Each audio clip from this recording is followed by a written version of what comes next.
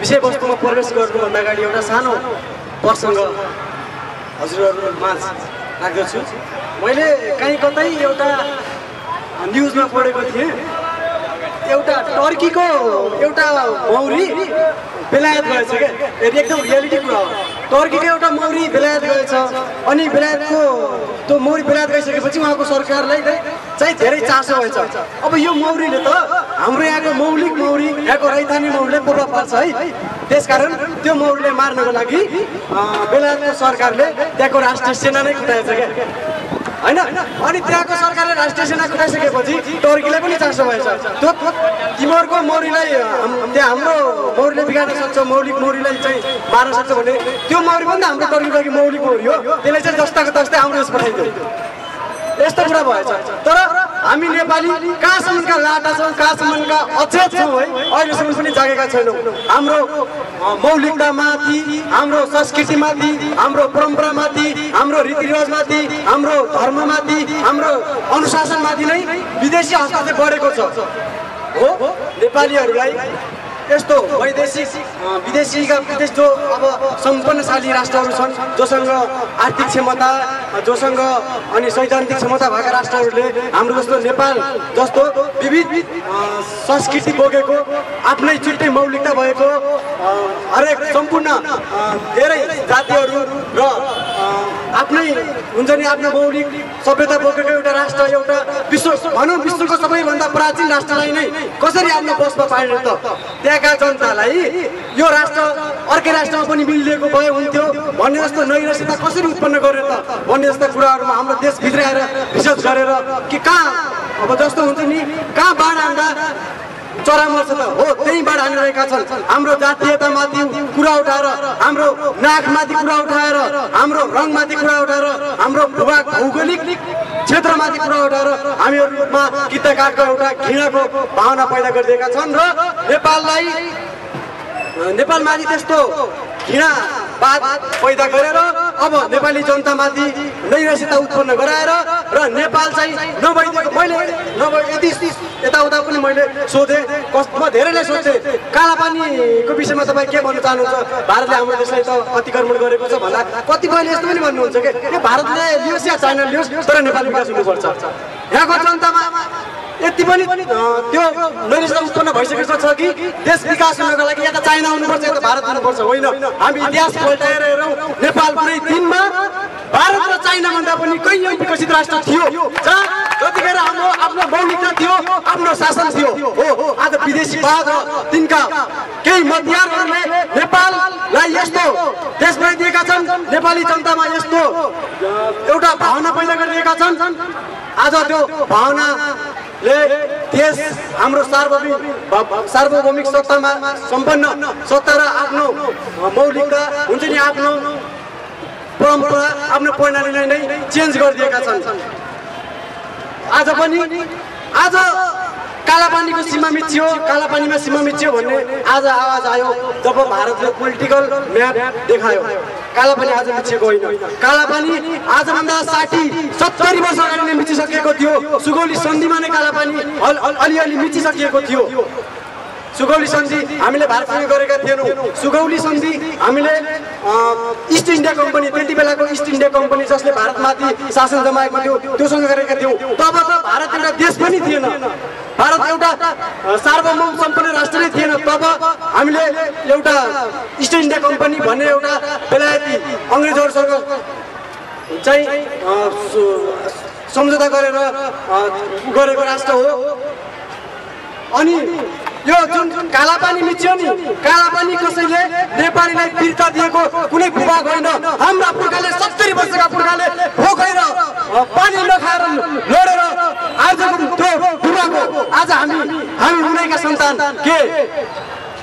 कालापानी मिचिरहेको टुलु टुलु हेरेर साँझ मस्त भात खायो बिस्तारामा पल्ट्यो ब्याकअप इन्डिया भन्नु सकियो। यति नै हुन्छ त? हुँदैन। अब त्यहाँ रहेका पिलर सिमेन्टका र सरियाका पिलर रहेका छन्। अझै पनि त्यहाँ रहेका नेपाली छोराहरू नेपाली आमा दिदीबहिनीहरू दाजुभाइहरू जो हामी पिलरहरू हामी रहेका छैनौँ। अब हामीले हाम्रा भूभागहरू यसरी नै मिसिँदै जान्छ भने हामीले सर्वप्रथम त हामीले यहाँको संस्थाहरूलाई चेन्ज गर्नु छ हामीलाई बिगारेको हस्तक्षेप भारतले होइन हामीले हस्तक्षेप आफ्नैले गरेका छन् यही सरकारले हस्तक्षेप गरेको छ अब छिमेकी कमजोर भयो भने त आँखा लगाइहाल्छ नि अरूले कमजोर भएको ठाउँमा अरूले त्यो दबाउन खोजिहाल्छ नि तब त्यसको लागि हामीले के गर्नुपर्छ त हामीले आफू बलियो हुनुपर्छ आफू बलियो भयो भने कसैले पनि हल्लाउन सक्दैन हामी के गर्छौँ? बाटो बनाउँछौँ। अनुदान भारतको। यहाँका पुल पेलेसा बनाउँछौँ। जापानको अनुदान चाइनाको अनुदान। कसरी हुन्छ देश विकास? हो? यही त हो नि हाम्रो हालत। अब जसबाट ऋणी हुन्छ ऋणीका अगाडि झुक्नै पर्छ? सरकार हाम्रो सरकारले ऋण खाएको छ यिनीहरूको। झुक्नै पर्छ। कालो बल एउटा एउटा सम्बन्धित मान्छेको सिग्नेचर बिनाको प्रेस विज्ञप्ति सरकारले निकाल्छ।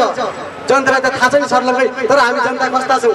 यस्तो हामी देखिरहेका छौँ सीमा मिचिरहेको छ देशमा अस्त व्यस्त छ देशमा राम्रो एउटा बाटो बन्दैन। होइन? एउटा अझै पनि विकट ठाउँमा विद्युत पुगेको छैन खानेपानी पुगेको छैन तर पनि हामी चुनावको समयमा पाँच सय रुपियाँ लिएर अघि पछि हामी यस्तो राष्ट्रवादी बन्छौँ। बस भारतले सीमा मिचेको बेला मात्र राष्ट्रवादी बन्छौँ। राष्ट्रवादी हुनुपर्ने बेला चुनावको बेलामा हामी जब पाँच सय रुपियाँमा मासुवादमा हामी भोट बेच्छौँ। खासमा राष्ट्रवादी त हामी पनि हो काला पानी बिचिनुमा हाम्रो पनि हात छ। भन्नुहोस्। अब सचेत हुने बेला आइसकेको छ। त्यसैका लागि मौलिक जरुरत पार्टी स्थापना भएको छ। तपाईँहरूले चिन्तन गर्नुहोस् मनन गर्नुहोस्। नेपालमा जरुरत भएको नेपाललाई केन्द्र मानेर नयाँ पार्टी उत्पन्न भएको छ नयाँ पार्टी उदाएको छ।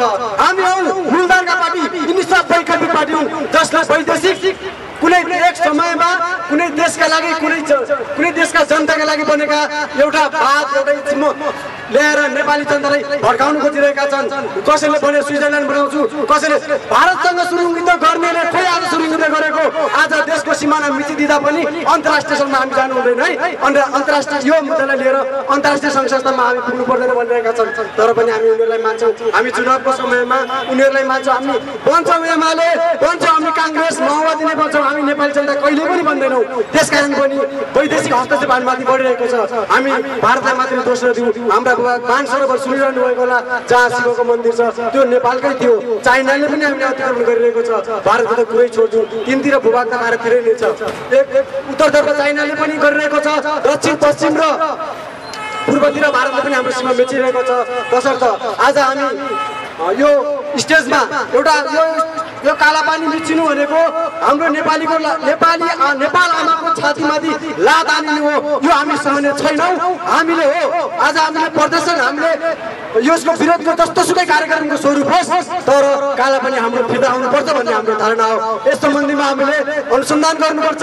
यस सम्बन्धीमा हामीले आवाज उठाउनुपर्छ। यस सम्बन्धीमा हामीले अन्तर्राष्ट्रिय सङ्घ संस्थाहरूसम्म पनि पुग्नुपर्छ। त्यसका लागि हामी भर्खर बन्नुपर्दछ त्यसका लागि हामी आत्मनिर्भर बन्नुपर्दछ। आत्मनिर्भरका लागि हामीले आफ्नो मौलिक पद्धति अप्नाउनु पर्नेछ। आदरणीय उपस्थित महानुभावहरू हामीले जबसम्म विदेशी वादहरूलाई विदेशी सिद्धान्तहरूलाई मानिरहन्छौँ आत्मसात गरिरहन्छौँ हामीले हामी काङ्ग्रेस हौँ हामी एमाले हौँ हामी माओवादी या हामी अन्य कुनै वैकल्पिक पार्टी हौँ भन्छौँ तबसम्म यो देशमा यस्तो स्थिति सिर्जना भइरहेछ तपाईँहरूलाई थाहै होला यिनी पार्टीहरू भएको पनि लगभग सत्तरी वर्ष भइसक्यो। यिनीहरूले देखाएका सपनाहरू पनि सत्तरी वर्ष भइसके। खोइ अहिलेसम्म प्रुभ भएको एउटा सपना पनि प्रुभ भएको त? छैन। यसको वैचारिक जालो भनेकै अन्त छ। यिनीहरूले हरेक कुरा अब हजुर हजुरहरूले देख्नुभएको होला अझै पनि नेपाल परनिर्भर छ। हो? परनिर्भर नेपाल कहिलेबाट भयो त?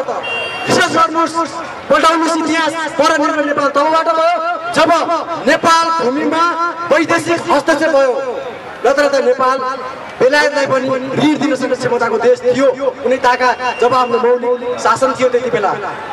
नेपाललाई पुनः पुनर्निर्माण गर्नको लागि हामी सबै एक भएर नेपाल आमालाई बुझेर नेपाल आमालाई साँच्चीकै मनबाटै मनन गरेर खोक्रो राष्ट्रवाद होइन हामीले दृढ राष्ट्रवाद देखाएर नेपाललाई पुनः पूर्व नेपाल आफ्नो मौलिक परम्परा संस्कृति विविधता अनेकतामाथिको एकतालाई फेरि जगेर्ना गरेर हामीले नेपाललाई अझ हामीले विश्वकै नमुना राष्ट्र बनाउनु छ।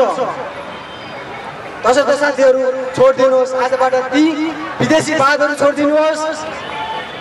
हामी आफ्नै चौरकिरीलाई पहिचान गरेर हामी को हौँ हामी कस्ता थियौँ हाम्रो शासन पद्धति कस्तो थियो त्यस सम्बन्धी अवलम्बन गरेर अगाडि आउनुहोस् बुझ्नेले बुझेर आउनुहोस् नबुझ्नेले हामीलाई देखेर हामीबाट सिकेर आउनुहोस्। अनि अब कालापानीको बारेमा भनौँ। कालापानी नेपालको अहिले नेपाल भारतको र चिनको लिम्बिया दुर्गा चिन तिन देशको त्रिदेशीय सीमा हो। हामीलाई यस्तो यो हाम्रो भूमि भनेको हाम्रो पूजा पुर्खाहरूले आर्जेको हो। यो हामीले कुनै पनि हालतमा अरू कुनै पनि देशलाई दिने छैनौँ। अरू कुनै देशमा गाभिन दिने छैनौँ। त्यहाँको नक्सामा गाभिएर केही भएन। हाम्रो मनबाट अन्त जानु भएन र हामीले हामी लड्नेछौँ हामीले सक्ने हामी म विद्यार्थी हुँ मैले विद्यार्थीको तबकाबाट तपाईँ नागरिक हो तपाईँले नागरिकको तबकाबाट दबाब दिनुहोस्। सरकारले पनि सुन्नेछ मलाई जस्तो लाग्छ यदि यो सरकार सुनेन भने अब केही दिन वर्ष अथवा महिना अब आउने चुनावहरूमा यिनीहरूलाई चाहिँ भोट नदिनु होला बुझ्नु होला मौलिक शक्तिहरूलाई हाम्रो पार्टी उदय भएको छ हाम्रो पार्टीलाई बुझ्ने प्रयास गर्नु होला यति भन्दै बिदा हुन चाहन्छु। धन्यवाद।